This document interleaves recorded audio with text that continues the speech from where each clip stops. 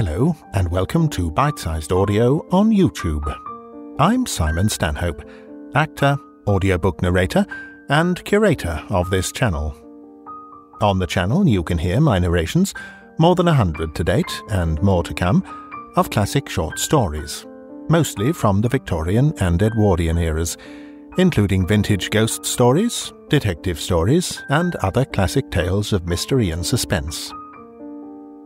To accompany the narrations, I've put a short profile of the authors in the video description, as well as some general background notes on the stories for those who'd like to know more. If you enjoy this content, please hit subscribe, like, share, leave a comment if you'd like to, and thank you for listening.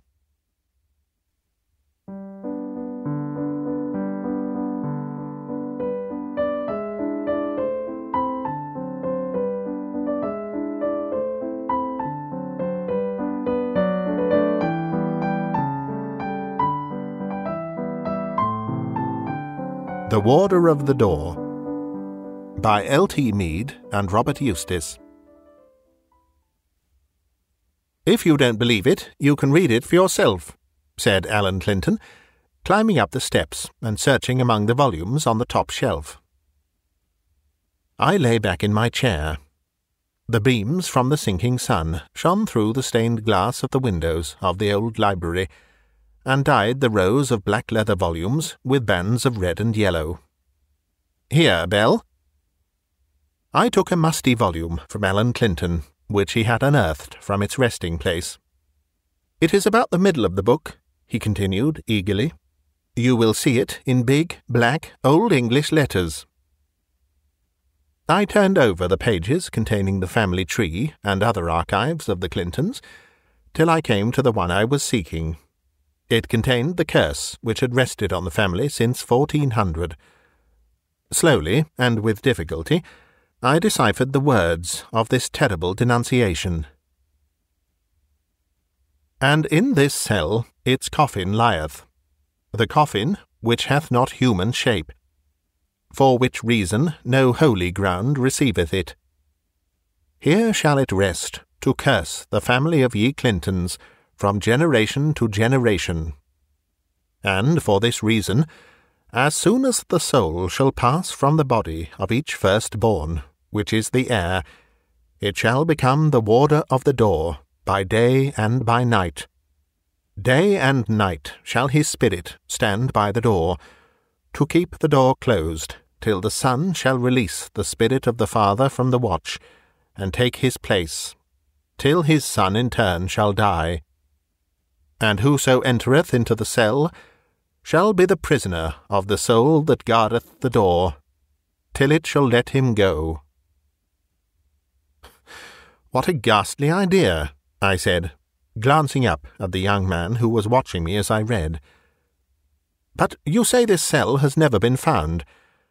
I should say its existence was a myth, and of course, the curse on the soul of the firstborn to keep the door shut as warder is absurd.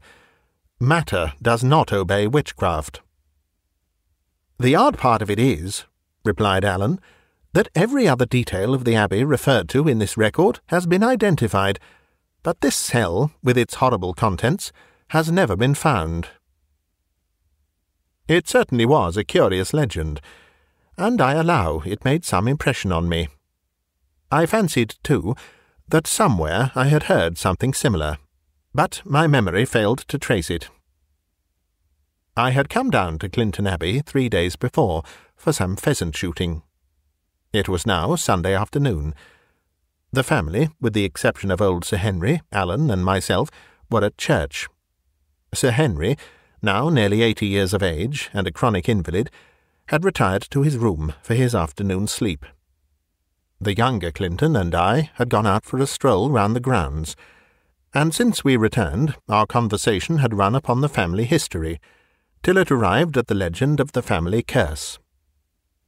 Presently, the door of the library was slowly opened, and Sir Henry, in his black velvet coat, which formed such a striking contrast to his snowy white beard and hair, entered the room.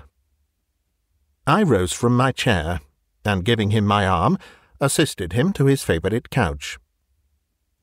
He sank down into its luxurious depths with a sigh, but as he did so, his eyes caught the old volume which I had laid on the table beside it. He started forward, took the book in his hand, and looked across at his son. Did you take this book down? he said sharply. Yes, father. I got it out to show it to Bell.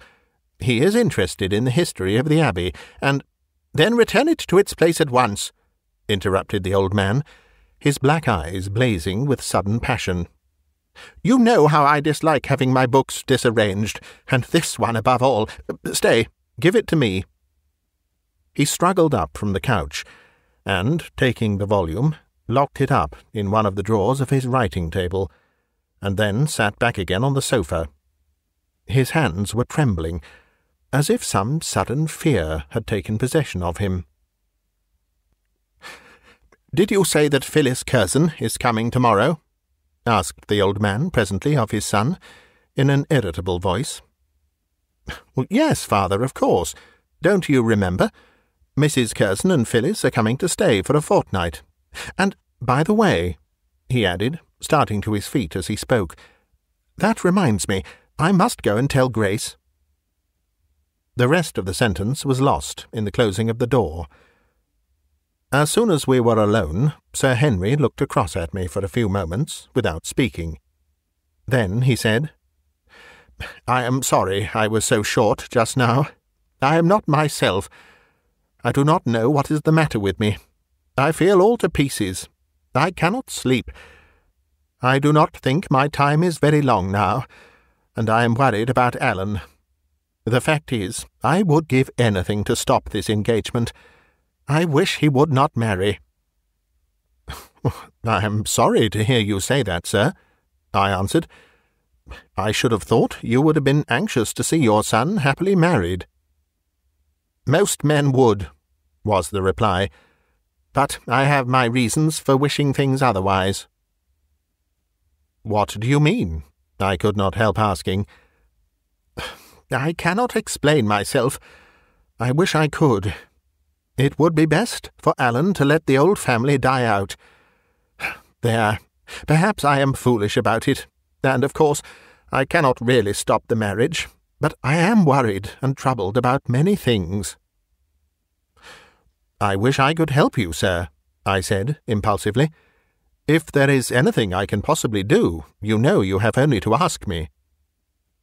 Thank you, Bell. I know you would. But I cannot tell you. Some day I may. But there, I am afraid, horribly afraid. The trembling again seized him, and he put his hands over his eyes, as if to shut out some terrible sight. Don't repeat a word of what I have told you to Alan or anyone else, he said suddenly. It is possible that some day I may ask you to help me. And remember, Bell, I trust you. He held out his hand, which I took. In another moment, the butler entered with the lamps, and I took advantage of the interruption to make my way to the drawing room. The next day the Curzons arrived, and a hasty glance showed me that Phyllis was a charming girl. She was tall, slightly built, with a figure both upright and graceful, and a handsome, somewhat proud face. When in perfect repose, her expression was somewhat haughty, but the moment she spoke, her face became vivacious, kindly, charming to an extraordinary degree. She had a gay laugh, a sweet smile, a sympathetic manner. I was certain she had the kindest of hearts, and was sure that Alan had made an admirable choice. A few days went by, and at last the evening before the day when I was to return to London arrived.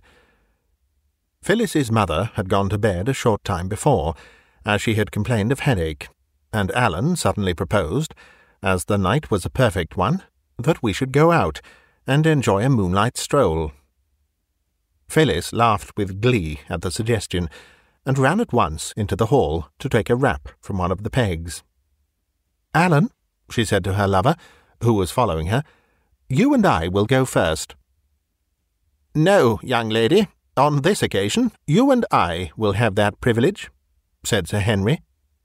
He had also come into the hall, and, to our astonishment, announced his intention of accompanying us in our walk. Phyllis bestowed upon him a startled glance. Then she laid her hand lightly on his arm, nodded back at Alan with a smile, and walked on in front, somewhat rapidly. Alan and I followed in the rear.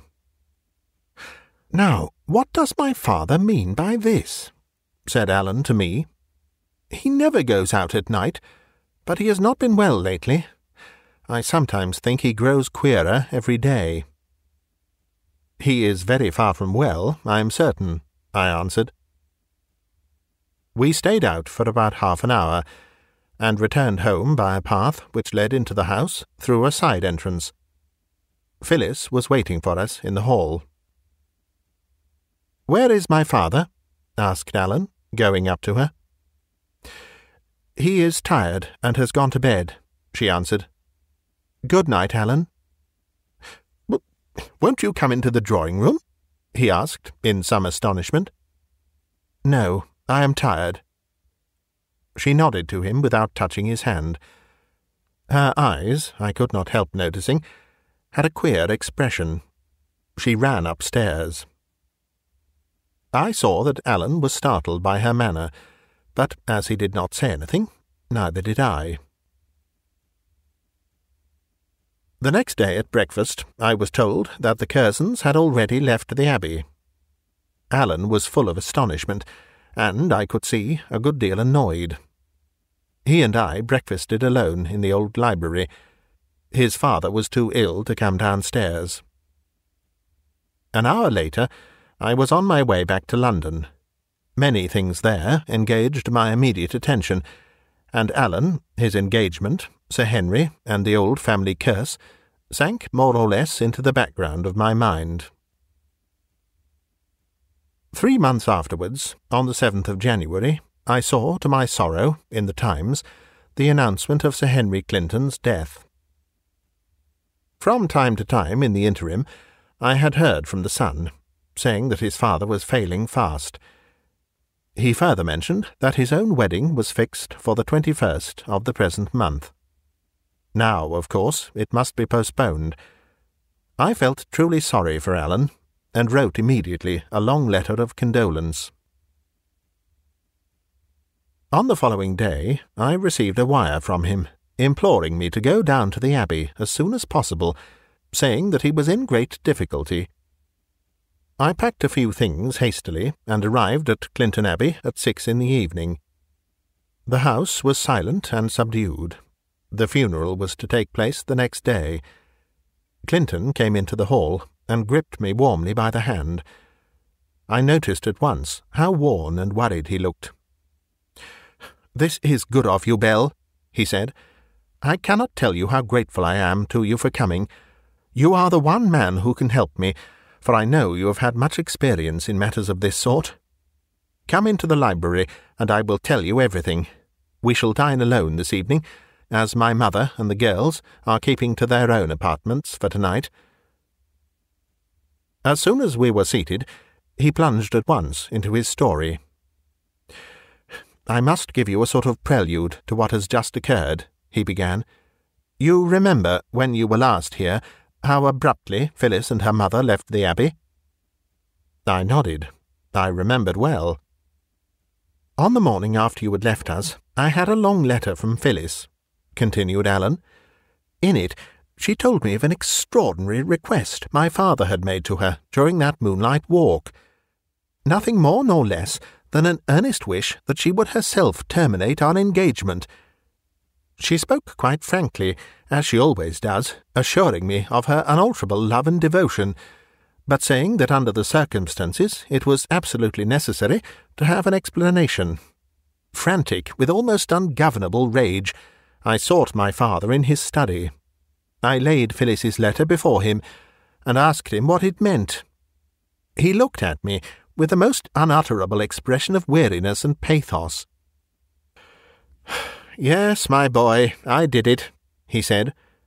Phyllis is quite right. I did ask of her, as earnestly as a very old man could plead, that she would bring the engagement to an end. But why? I asked. Why? That I am unable to tell you, he replied. I lost my temper and said some words to him which I now regret. He made no sort of reply. When I had done speaking, he said slowly, I make all allowance for your emotion, Alan. Your feelings are no more than natural. You have done me a very sore injury, I retorted. What can Phyllis think of this? She will never be the same again. I am going to see her today. He did not utter another word, and I left him. I was absent from home for about a week. It took me nearly that time to induce Phyllis to overlook my father's extraordinary request, and to let matters go on exactly as they had done before. After fixing our engagement, if possible, more firmly than ever, and also arranging the date of our wedding, I returned home. When I did so, I told my father what I had done. As you will, he replied, and then he sank into great gloom. From that moment, although I watched him day and night and did everything that love and tenderness could suggest, he never seemed to rally he scarcely spoke, and remained, whenever we were together, bowed in deep and painful reverie. A week ago he took to his bed. Here Alan paused. I now come to events up to date, he said. Of course, as you may suppose, I was with my father to the last. A few hours before he passed away, he called me to his bedside, and, to my astonishment, began once more talking about my engagement. He implored me, with the utmost earnestness, even now, at the eleventh hour, to break it off. It was not too late, he said, and added further that nothing would give him ease in dying but the knowledge that I would promise him to remain single. Of course, I tried to humour him. He took my hand, looked me in the eyes with an expression which I shall never forget, and said, Alan, make me a solemn promise that you will never marry. This I naturally had to refuse, and then he told me that, expecting my obstinacy, he had written me a letter which I should find in his safe, but I was not to open it till after his death. I found it this morning. Bell, it is the most extraordinary communication, and either it is entirely a figment of his imagination, for his brain powers were failing very much at the last, or else it is the most awful thing I ever heard of. Here is the letter. Read it for yourself. I took the paper from his hand, and read the following matter, in shaky, almost illegible writing. My dear boy, when you read this, I shall have passed away. For the last six months, my life has been a living death the horror began in the following way. You know what a deep interest I have always taken in the family history of our house. I have spent the latter years of my life in verifying each detail, and my intention was, had health been given me, to publish a great deal of it in a suitable volume. On the special night to which I am about to allude, I sat up late in my study reading the book which I saw you show to Bell a short time ago. In particular, I was much attracted by the terrible curse which the old abbot in the fourteenth century had bestowed upon the family. I read the awful words again and again. I knew that all the other details in the volume had been verified, but that the vault with the coffin had never yet been found. Presently I grew drowsy, and I suppose I must have fallen asleep. In my sleep I had a dream. I thought that someone came into the room, touched me on the shoulder, and said, Come. I looked up. A tall figure beckoned to me. The voice and the figure belonged to my late father. In my dream I rose immediately although I did not know why I went nor where I was going. The figure went on in front. It entered the hall. I took one of the candles from the table and the key of the chapel, unbolted the door, and went out. Still the voice kept saying, Come, come, and the figure of my father walked in front of me. I went across the quadrangle, unlocked the chapel door, and entered. A death-like silence was around me. I crossed the nave to the north aisle. The figure still went in front of me. It entered the great pew, which is said to be haunted, and walked straight up to the effigy of the old abbot who had pronounced the curse. This, as you know, is built into the opposite wall. Bending forward, the figure pressed the eyes of the old monk, and immediately a stone started out of its place, revealing a staircase behind. I was about to hurry forward when I must have knocked against something. I felt a sensation of pain and suddenly awoke. What was my amazement to find that I had acted on my dream, had crossed the quadrangle, and was in the chapel, in fact, was standing in the old pew. Of course, there was no figure of any sort visible, but the moonlight shed a cold radiance over all the place. I felt very much startled and impressed, but was just about to return to the house in some wonder at the curious vision which I had experienced, when, raising my startled eyes, I saw that part of it at least was real. The old monk seemed to grin at me from his marble effigy, and beside him was a blank, open space. I hurried to it and saw a narrow flight of stairs. I cannot explain what my emotions were, but my keenest feeling at that moment was a strong and horrible curiosity. Holding the candle in my hand, I went down the steps. They terminated at the beginning of a long passage. This I quickly traversed, and at last found myself beside an iron door. It was not locked, but hasped, and was very hard to open. In fact, it required nearly all my strength. At last, I pulled it open towards me, and there, in a small cell, lay the coffin, as the words of the curse said. I gazed at it in horror. I did not dare to enter. It was a wedged-shaped coffin, studded with great nails.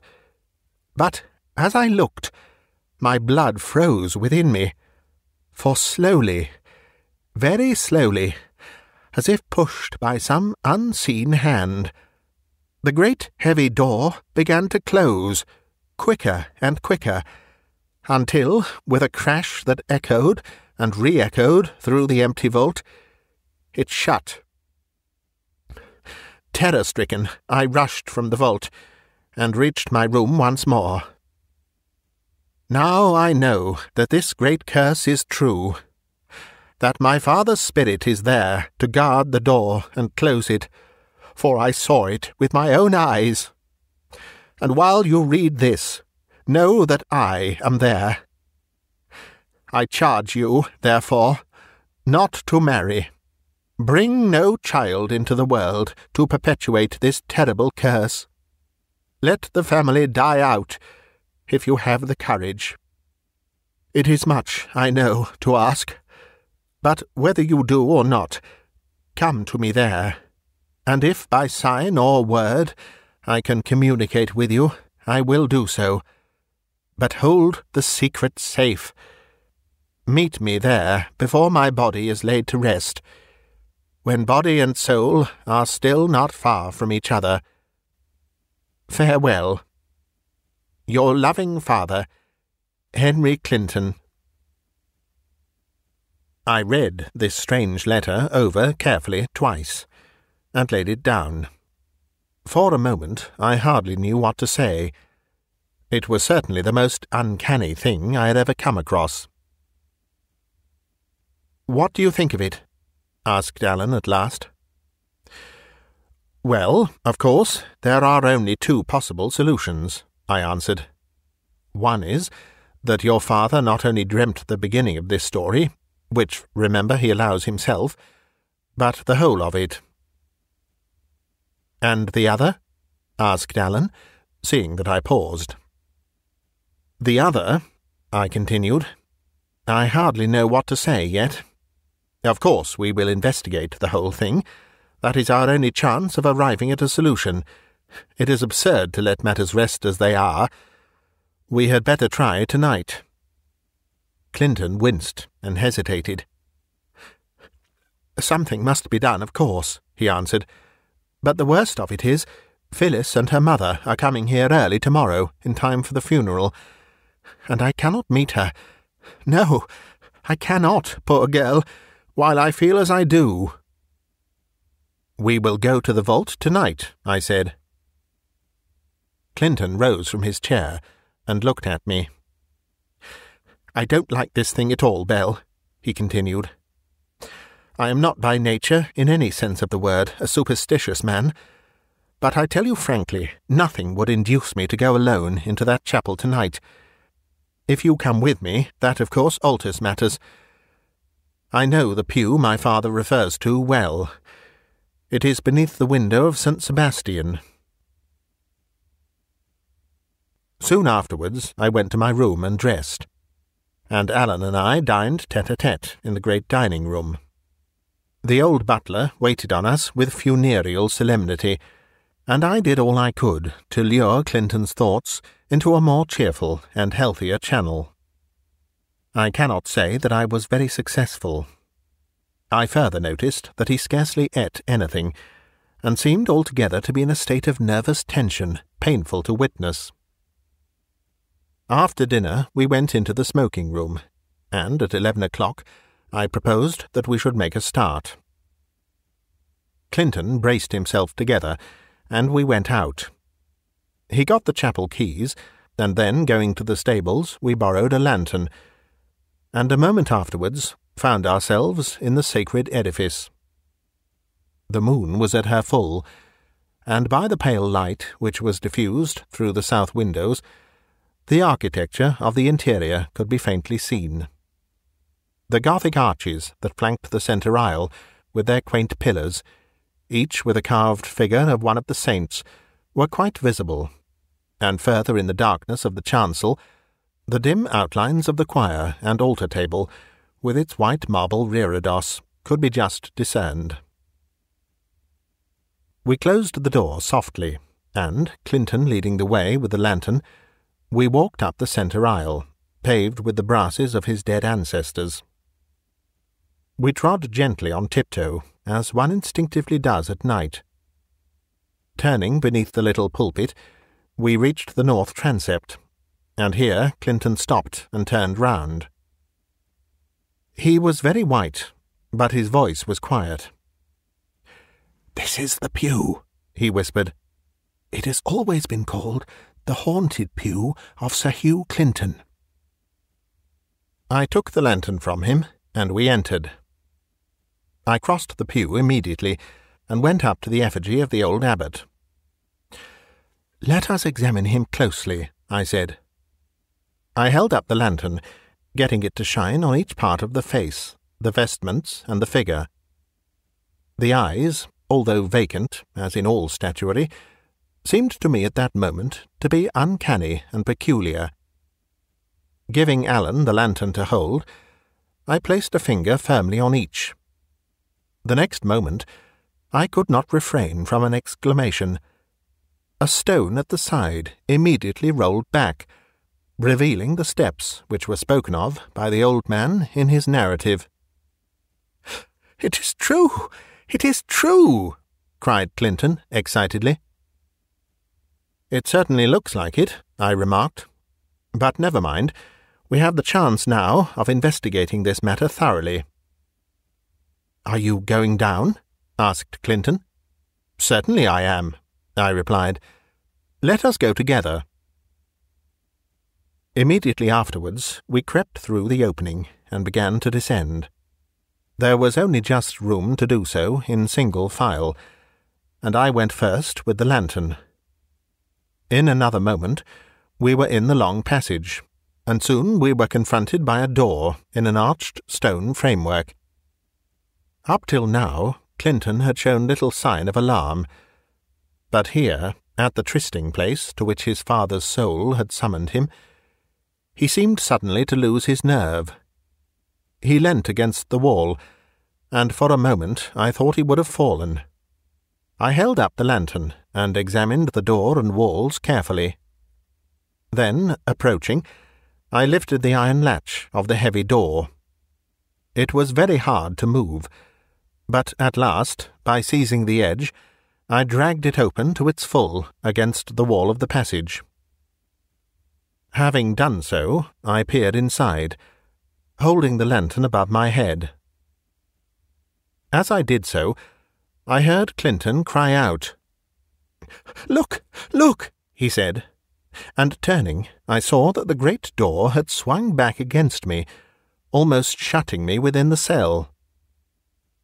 Telling Clinton to hold it back by force, I stepped inside and saw at my feet the ghastly coffin. The legend, then, so far, was true. I bent down and examined the queer, misshapen thing with great care. Its shape was that of an enormous wedge, and it was apparently made of some dark old wood, and was bound with iron at the corners. Having looked at it all round, I went out, and, flinging back the door which Clinton had been holding open, stood aside to watch.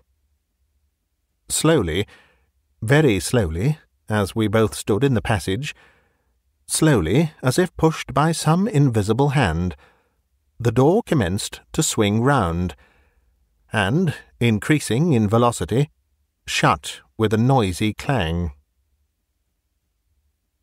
Seizing it once again, I dragged it open, and, while Clinton held it in that position, made a careful examination. Up to the present, I saw nothing to be much alarmed about. There were fifty ways in which a door might shut of its own accord. There might be a hidden spring or tilted hinges.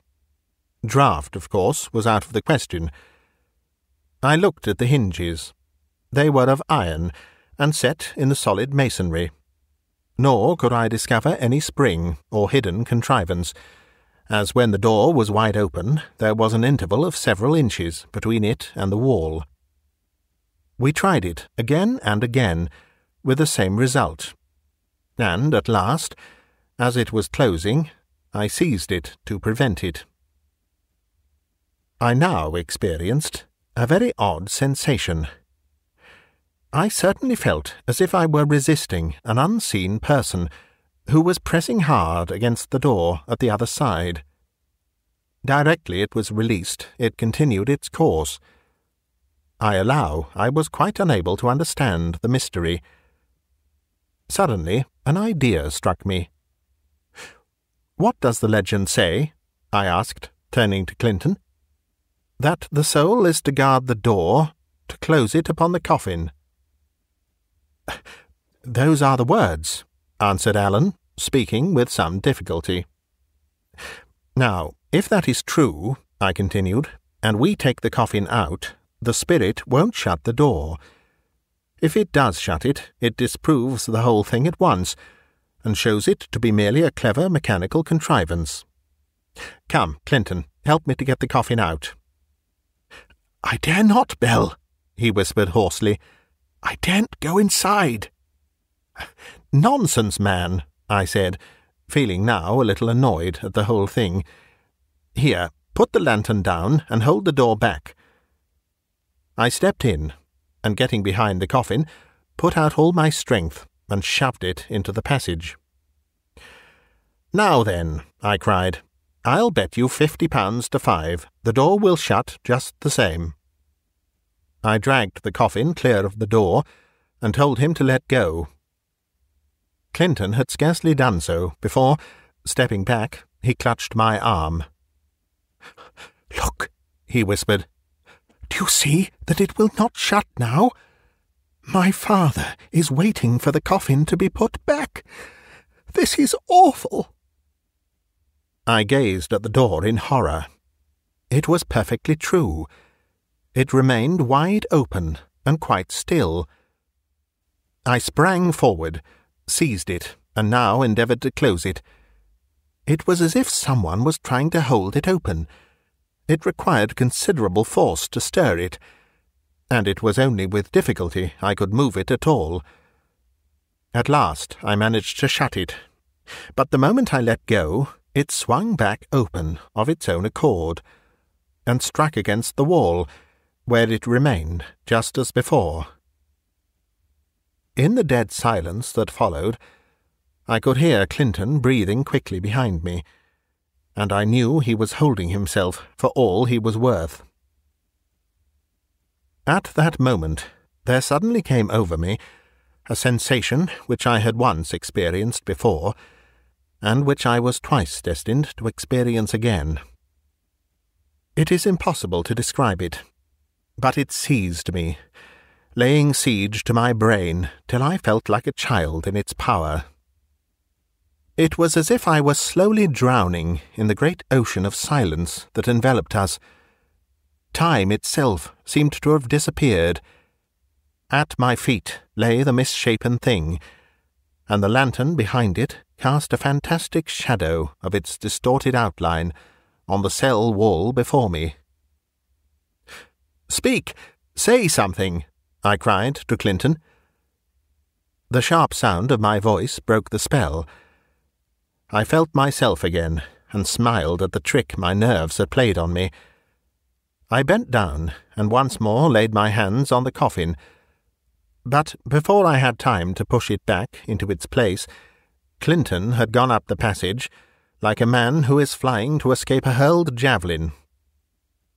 Exerting all my force to prevent the door from swinging back, by keeping my leg against it, I had just got the coffin into the cell and was going out when I heard a shrill cry, and Clinton came tearing back down the passage. I can't get out! The stone has sunk into its place! We are locked in! he screamed, and, wild with fear, he plunged headlong into the cell, upsetting me in his career before I could check him. I sprang back to the door as it was closing. I was too late. Before I could reach it, it had shut with a loud clang, in obedience to the infernal witchcraft. You have done it now, I cried angrily. Do you see? Why, man, we are buried alive in this ghastly hole. The lantern I had placed just inside the door, and by its dim light, as I looked at him, I saw the terror of a madman creep into Clinton's eyes. Buried alive! he shouted, with a peal of hysterical laughter. Yes, and Bell, it's your doing. You are a devil in human shape. With a wild paroxysm of fury, he flung himself upon me. There was the ferocity of a wild beast in his spring. He upset the lantern and left us in total darkness. The struggle was short. We might be buried alive, but I was not going to die by his hand, and seizing him by the throat, I pinned him against the wall. Keep quiet, I shouted. It is your thundering stupidity that has caused all this. Stay where you are until I strike a match. I luckily had some vestas in the little silver box which I always carry on my watch chain, and striking one, I relit the lantern. Clinton's paroxysm was over, and sinking to the floor, he lay there shivering and cowering. It was a terrible situation, and I knew that our only hope was for me to keep my presence of mind. With a great effort, I forced myself to think calmly over what could be done. To shout for help would have been but a useless waste of breath. Suddenly, an idea struck me. Have you got your father's letter? I cried eagerly. I have, he answered. It is in my pocket. My last ray of hope vanished. Our only chance was that if he had left it at the house, someone might discover the letter and come to our rescue by its instructions. It had been a faint hope, and it disappeared almost as quickly as it had come to me. Without it, no one would ever find the way to the vault that had remained a secret for ages. I was determined, however, not to die without a struggle for freedom Taking the lantern, I examined every nook and cranny of the cell for some other exit. It was a fruitless search. No sign of any way out could I find, and we had absolutely no means to unfasten the door from the inner side. Taking a few short steps, I flung myself again and again at the heavy door. It never budged an inch, and, bruised and sweating at every pore, I sat down on the coffin and tried to collect all my faculties. Clinton was silent and seemed utterly stunned. He sat still, gazing with a vacant stare at the door. The time dragged heavily, and there was nothing to do but to wait for a horrible death from starvation. It was more than likely, too, that Clinton would go mad. Already his nerves were strained to the utmost. Altogether, I had never found myself in a worse plight. It seemed like an eternity that we sat there, neither of us speaking a word. Over and over again I repeated to myself the words of the terrible curse. And whoso entereth into the cell shall be the prisoner of the soul that guardeth the door, till it shall let him go. When would the shapeless form that was inside the coffin let us go? Doubtless when our bones were dry. I looked at my watch. It was half past eleven o'clock. Surely we had been more than ten minutes in this awful place. We had left the house at eleven, and I knew that must have been many hours ago. I glanced at the second hand. The watch had stopped. What is the time, Clinton? I asked. My watch has stopped. What does it matter? He murmured. What is time to us now? The sooner we die, the better. He pulled out his watch as he spoke and held it to the lantern. Twenty-five minutes past eleven, he murmured dreamily. Good heavens! I cried, starting up. Has your watch stopped too? Then, like the leap of a lightning flash, an idea struck me. I have got it! I have got it! My God! I believe I have got it! I cried, seizing him by the arm. Got what? he replied, staring wildly at me. Why, the secret, the curse, the door, don't you see? I pulled out the large knife I always carry by a chain and swivel in my trouser pocket, and telling Clinton to hold the lantern, opened the little blade saw and attacked the coffin with it. I believe the secret of our deliverance lies in this, I panted, working away furiously. In ten minutes I had sawn half through the wooden edge, then, handing my tool to Clinton, I told him to continue the work while I rested. After a few minutes, I took the knife again, and at last, after nearly half an hour had gone by, succeeded in making a small hole in the lid. Inserting my two fingers, I felt some rough, uneven masses. I was now fearfully excited. Tearing at the opening like a madman, I enlarged it and extracted what looked like a large piece of coal. I knew in an instant what it was. It was magnetic iron ore.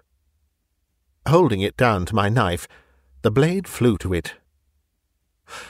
Here is the mystery of the soul, I cried. Now we can use it to open the door.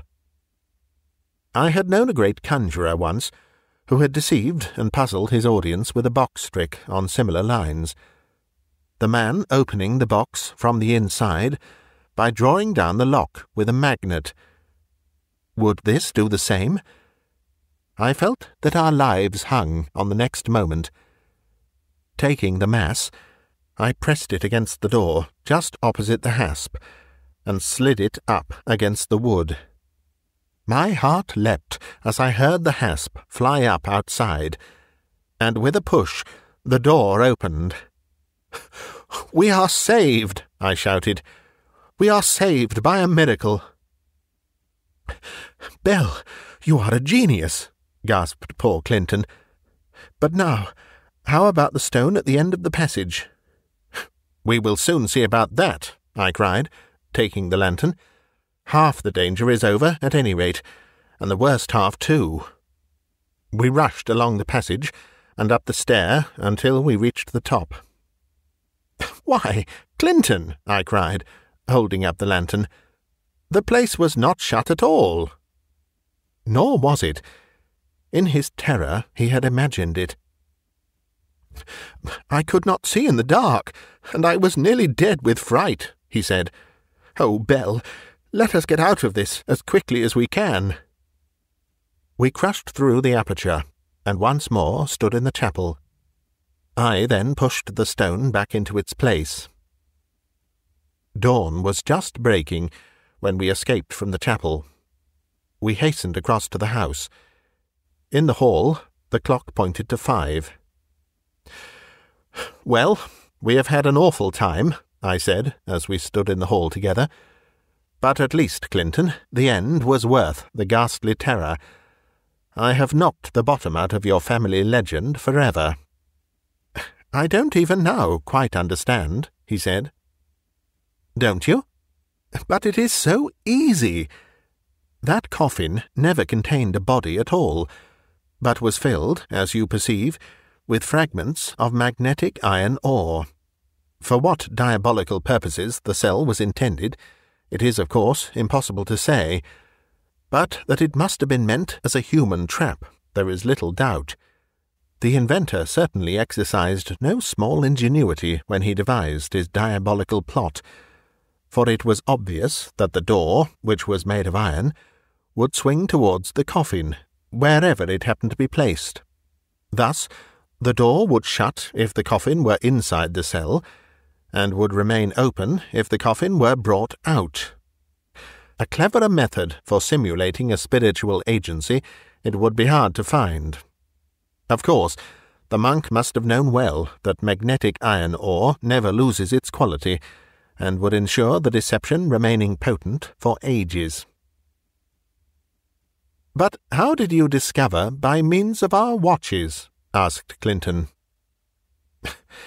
Anyone who understands magnetism can reply to that, I said. It is a well known fact that a strong magnet plays havoc with watches. The fact of both our watches going wrong first gave me a clue to the mystery. Later in the day, the whole of this strange affair was explained to Miss Curzon, and not long afterwards the passage and entrance to the chapel were bricked up. It is needless to add that six months later the pair were married, and, I believe, are as happy as they deserve.